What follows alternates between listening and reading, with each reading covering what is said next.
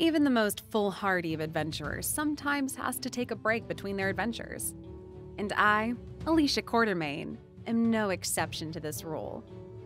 During one such break, I was lucky enough to be invited to a charity ball organized by Sir Gringray.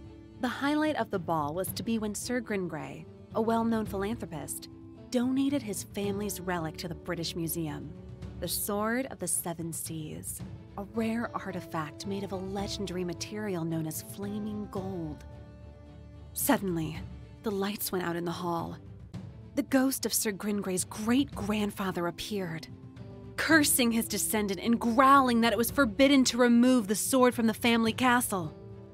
As the ghost finished his wrathful speech, he ran his hand over the sword.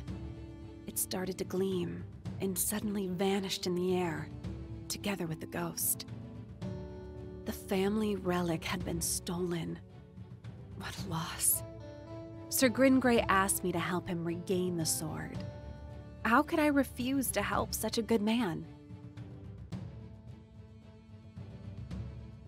Besides, searching for the stolen sword would surely be an incredible adventure.